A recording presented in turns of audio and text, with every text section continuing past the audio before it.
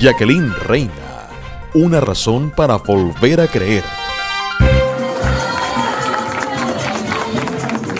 Con el respaldo del movimiento alternativo indígena y social MAIS, Jacqueline Reina, en compañía de cientos de seguidores, oficializó ante la Registraduría Especial del municipio de Soledad su candidatura a la alcaldía para el presente debate electoral período 2016-2019.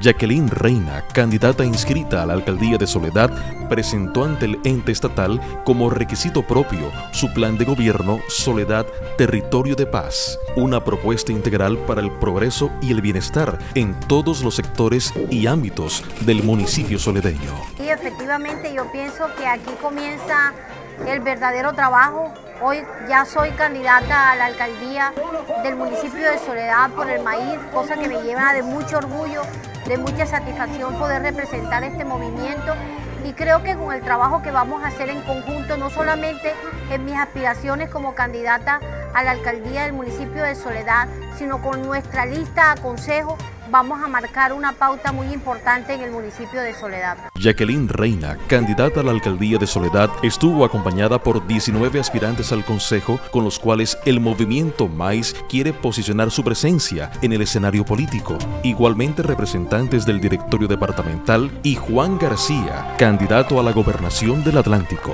Bueno, primero eh, creo que Jacqueline tiene la posibilidad de cambiar a Soledad.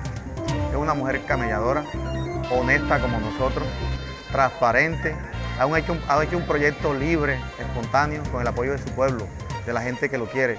Creo que Soledad necesita una mujer que ría los destinos de ella con el único compromiso que sea con su pueblo, con la gente que hoy la acompañó. Hoy fue un río de gente lo que hubo en Soledad. Yo venía atrás y tuve que correr casi cuatro cuadras para, para no alcancé a llegar a la, a la cabeza de la, de, la manifestación. Es una manifestación espontánea. Yo creo que el movimiento del pueblo nos está indicando que este pueblo quiere cambio. Y creo que Jacqueline tiene la experiencia, la formación para dirigir muy bien a Soledad. Es una bendición de Dios. Y de la mano de Dios lo vamos a lograr.